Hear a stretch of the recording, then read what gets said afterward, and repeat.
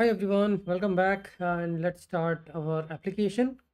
So what we are going to do here is we are going to explore a little bit of documentation. We are going to write forms. We are going to talk about page options and how we can manage the hooks and all these concepts. So page form actions. I mean uh, page.server.js or page.server.ts or layout.server.ts can export an actions which allows you to post the data to the server. That means whatever the HTML form you are writing, this is simple form we write in the HTML and we say method post uh, and method post means you are actually submitting this form to the server. This is how we used to do in the earlier world before this React and this framework came into picture. So we are doing post and the server.ts or JS file can handle that action. If you're not specifying it as a get, put, post, get or post, in that case, it will be handled by the default server action. So this is the default, but you can specify action always use post request because you are actually submitting some data to the server since get request should never be have a side effects because get we are using to just fetch the data not to submit the data to the server so let's say if the action is login it's these are like named actions right? So in this particular case this will be handled by this named action login because i'm explicitly saying action login method is post. I mean by default all the methods are post.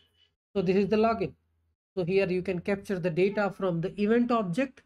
Okay this is the username this is the password validate it against the server side logic and then return the status code or whatever you want to do this is used to register capture the data and uh, store the information and return the response. To invoke the named action add a query parameter like uh, you can add a query parameter like this. Register query parameter prefixed by forward slash character so it will trigger the register action. And this will trigger i think login. So as well the action attributes we can use form actions something like this form method and action login right and if you want to click onto this button this is the form action. We can't have a default actions like the default which we were specifying here. If we are using the named action then stick to using the named action. I'm just reading the documentation and letting letting you know. Now what happens is what you are doing is you submitted the data to the server right? Uh, you actually have a form you did a login register so how you get the uh, the data inside the actions using request object request dot form data. This is simple and will be used everywhere. And then you can get the email password username first name last name whatever the attributes you are specifying. And then you can return the data from this action so these are the server side actions which you are submitting from the html page. This is the register. And then this particular data how you will access this data which is being returned. This server side action data will be returned in the data. I mean whatever the payload you are returning you can access that through the data. Data dot success. So inside data this is like the action data which you handle through the form. So the data export let data handles the, the load function data and this is the form action data handled by the form. Here you can create a form variable this will get the data whatever you are putting in uh, whatever you are returning from the form actions. So form dot success so whatever you are putting here i can access that in the client side page dot svelte and then i would know okay the the data has been submitted data has some errors email is invalid username is empty the length. All these validation errors you can return from the server side. Let's say what i'm doing. Here i just return a simple object here i'm returning a specific status code with the email missing true. Okay? I'm returning something new other than success. So how can you de deal with this kind of uh, response? What i'm doing is i'm returning fail. Uh, fail i think we are getting from the svelte kit. And i'm returning 400 email missing true incorrect true. And what will happen is this is your form here inside this form you will get this response object. Email incorrect true right? So what you will get form dot is missing. So you can actually configure the parameters. These are not standard parameters. You can define your own way form dot missing form dot invalid form dot required form dot uh, minimum length required. Whatever the variables you return from this object you can access. Incorrect form dot incorrect if it is true. Okay invalid credentials email field is required or username password is incorrect. And how you can show it uh, the value? Like uh, you can you can actually bind that value also form dot email if the form dot email is there then it will make it empty. Okay the return return data must be serialized as a json. That's important part because json i can read it i can access through the form object. Form dot is missing incorrect form dot property name like form dot email form dot missing form dot incorrect very simple right? You can also redirect. Uh, what happens is let's say you are a you have a successful uh, login session id you created a session then you can actually redirect. You redirect to the svelte kit stuff fail and redirect and you redirect to 303 and this is the redirect url okay so this is pretty much uh, how it works. And uh, this is also uh, talking about handles. Sorry hooks. Hooks actually uh, now the we are going to talk about hooks what these hooks are. These hooks can populate the data into your pages. How? Hooks access these events and resolve. Inside the events you can populate the data which is there in the session or has been returned from the server side session. Let's say you logged in successfully what i'm doing i'm adding setting something inside a cookies. So these cookies this cookie can i have i have access to this cookie at the client side also. In the session id i put some data. So, so event dot uh, cookies dot get session id and based on that i can get the user. In this hook server this is also server side execution. But with the help of this i can put something inside an event object which i can access in the pages also right? So this event i can so if you are populating this event object through the hooks then i can access that in the load function i can access that in the actions everywhere. So here you can see the same event object i access in the event object and here you can say event.local.user that i set through the hooks but now i do have access to that using page.server now i can access this user object inside the page.svelte.js using data.user. Same thing I can access that in the events event.local.user null. Let's say from the front end I click on the logout. That means I need to reset the session to null. I need to remove the cookies. All those things I can do it like, like event.cookies dot delete event.local.user null. That's it.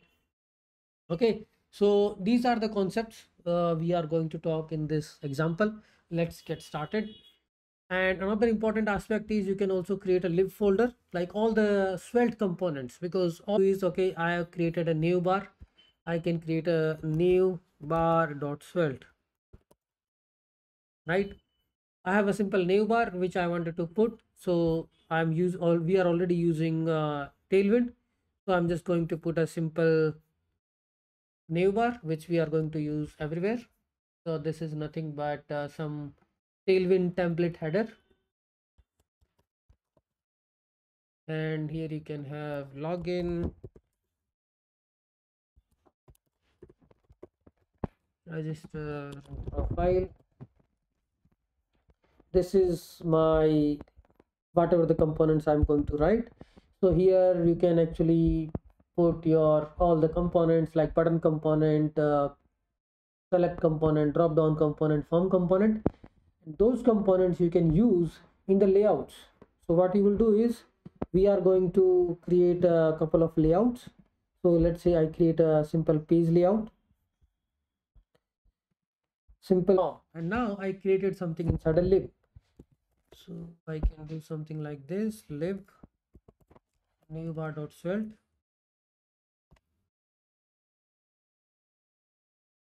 okay. You can also have some footer component inside lib.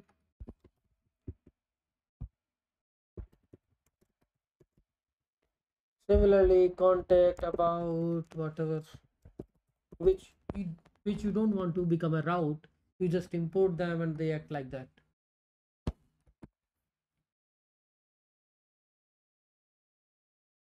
Not going to be the neighbor i will just put empty div for now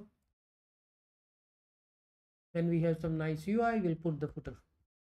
Okay now inside the layout you can import header you can import footer.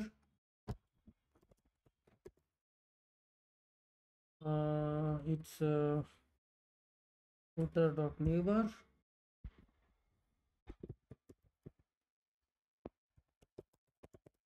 footer dot svelte and now then you can use it. So here i will do is uh, div class app. And inside this you can import the header. So new bar we have. You can import header and we can import so now inside this you have a slot. All the childrens will go inside this. And inside this you have footer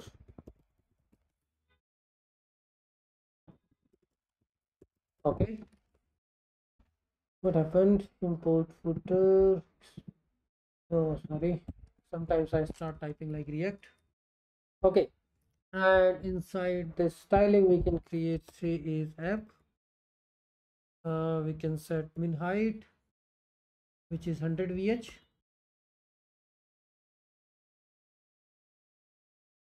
vertical height. And displays flex I will not focus much on uh, designing the layout because you might be way better than me. Flex direction is column. Okay. So this is simple layout we have created. Now we are going to create all the pages. So let's say I have a two set of uh, layouts. App layouts uh, inside this. Uh, we also have API. APIs we can use it if you want. This is still working.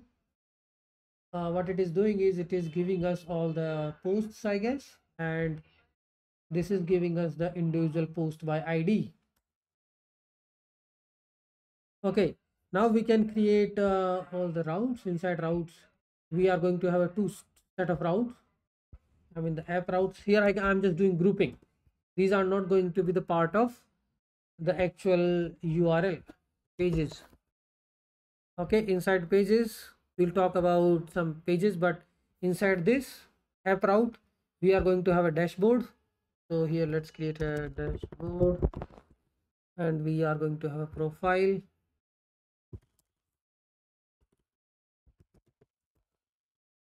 Okay dashboard profile and inside dashboard we are going to create a further components like page dot svelte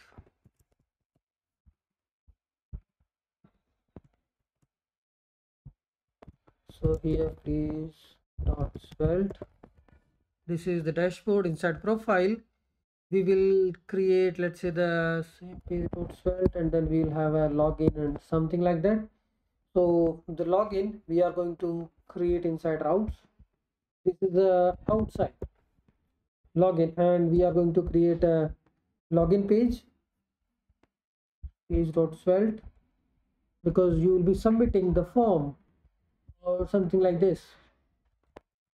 Plus page dot svelte and page dot server dot ts.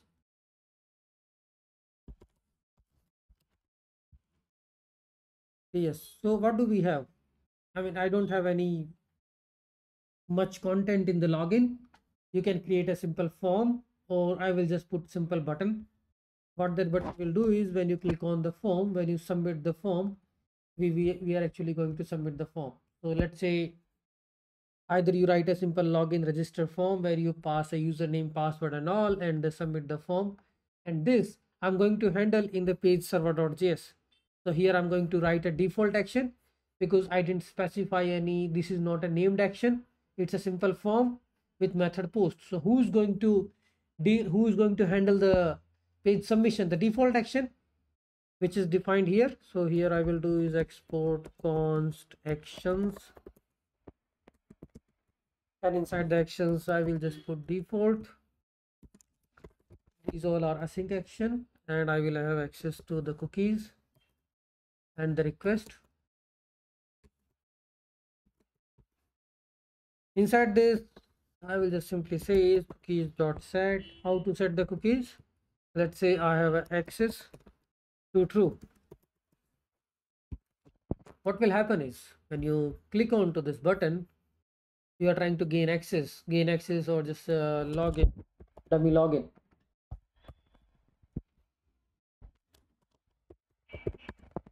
and dinner.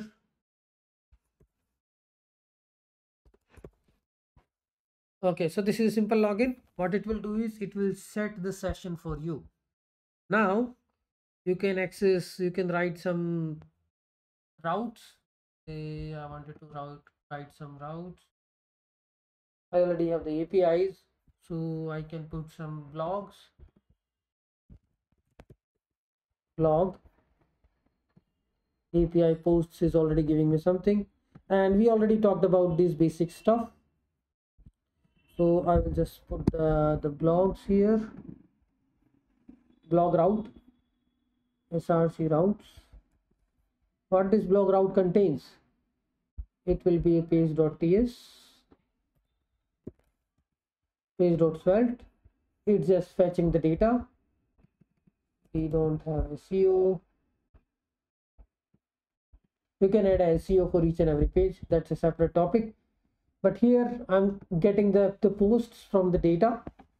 And this is plus page dot ts is having the load function which is fetching the data from here and exporting the posts through the load function. And we are accessing that using data dot posts.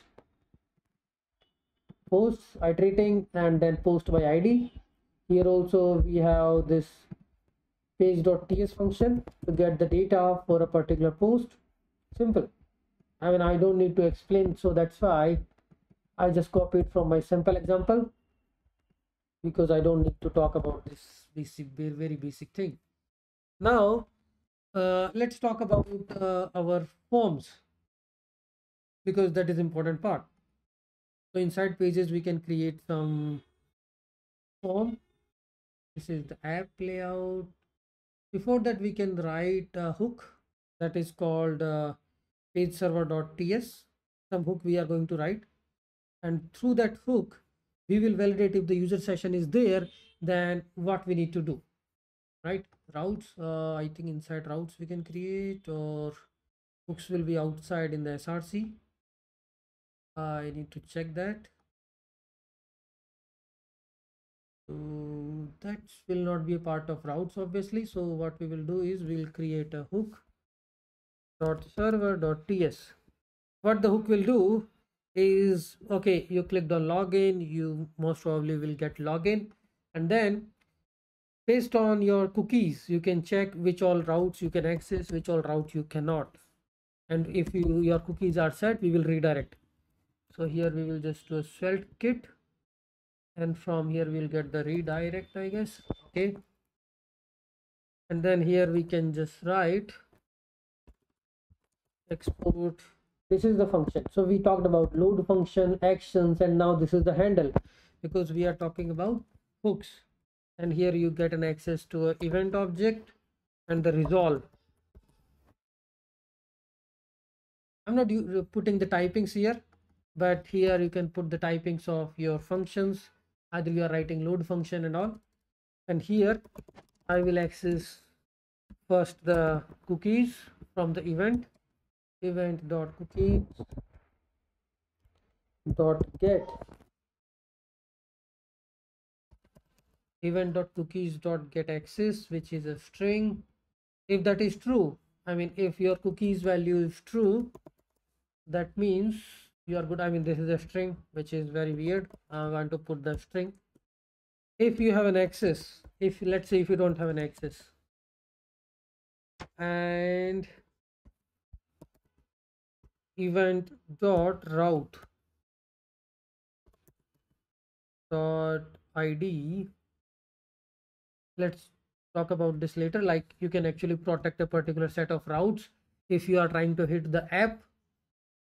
From here then only you can just protect your routes. So you can just check okay if user doesn't have an access because there can be some public pages right? There can be some private pages. So i'm just uh, checking if this is the public page or if this is a private page then protect it. So if you don't have an access what we need to do is we need to throw redirect 302 and your page name login.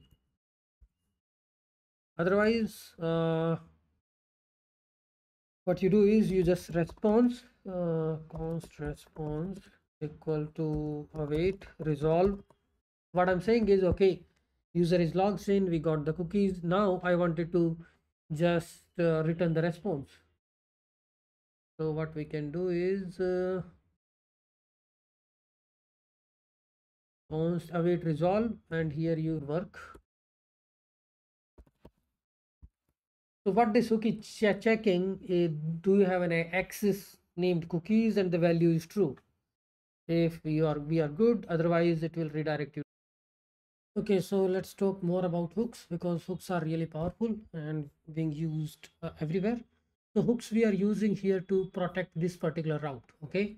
If user is trying to enter to this route and doesn't have a cookies then redirect the user to this particular route i mean the home page. So at the hooks uh, there are a lot of things we can do at the hooks level. We can check the session is there. We can populate the locals object in the in, inside events so uh, hooks will be triggered and once uh, we see that cookies has the session available we can make a request and we can get the data. So this data i'm getting from the cookies let's say. Here we can write a some library method which will check the cookies cookies dot get access equal to true then uh, or the session id is inside the cookies you get the data. And then you can set the data inside the locals. Okay? Event dot locals dot user here if the access is true that means if this is condition is true then i will set the locals user with this object otherwise null. Now how this event dot local locals will be used across the different page components page server components right? So what will happen? If this is not there then it will redirect to the home page. So what we can do to check if we have this locals available inside the home page so there are some protected route or let's say the the page. Here what we can do is we can write a simple function load function and we can try to access the locals. And we can assign the locals to the user. So inside the component inside the home page because this is the load function will be exported to the component and I can access it using data.user.email. So I just put data.user.email here to see if you are logged in, if you have the cookies and the hooks have set the data. Equal to this test or, let's say tksharma at the gmail.com this data will be set then it will be able to we should be able to show it on the home page page.svelte similarly in the the pages similarly in the protected routes like the the dashboard profile we can write a simple function in the page server. We can actually get the locals or there is already a we already set the data in the page. Here we can ex we can use that in the dashboard page. So let's say here i'm just already logging in. Here also i can if i want to return the data return the page level data equal to user. So here i can do locals dot user. And then this user is an exported uh, i mean uh, returned value from the exported load function i can print the value here. Uh, it will be so we need to write a script because we are getting the data. Export data and here i can say data dot user dot email. I mean sometimes the user will become null uh, in data. So data dot user dot email so because this is a protected route and we are expecting that data should have a user object. So it is something like this. And we can also have a logout. Logout page this also will submit a page action. And inside page action we will set the cookies null right? Here what i'm doing is in the default action cookies dot set access null and the redirect to the home page. Okay? So let's run this application. There are two objectives. Uh, once is the protecting the routes. Another is once you're logs in how to access the session data. The simple thing is inside of hooks you fetch the action you fetch the session data or user object populate that at the events dot locals so that locals can be accessible in the load functions everywhere. Like i'm doing it here in the locals. Uh, we don't need it but inside this uh, home pages like profile or the dashboard page i'm accessing the locals and setting that page level data similarly in the home page we are doing the same thing. I'm printing it just to debug okay the locals has the value and then uh, setting the user payload. So we can just do pnpm dev. Just reload it. It's showing undefined because we don't have a cookies. So what i will do is it's a simple demo try to showcase things. And when i do dummy login it will actually submit an action to the server and we will set the cookies. Yes cookies is there right? And now you can see tk server how that is being populated. First it went to the home page. And we can also check the console logs. You can say initial initially user was null. Once you click on login now check the whole flow. Here I set the cookies. Even I make the cookies a little bit more secure by setting the HTTPS only and once you are done with the login I will redirect you to the home page.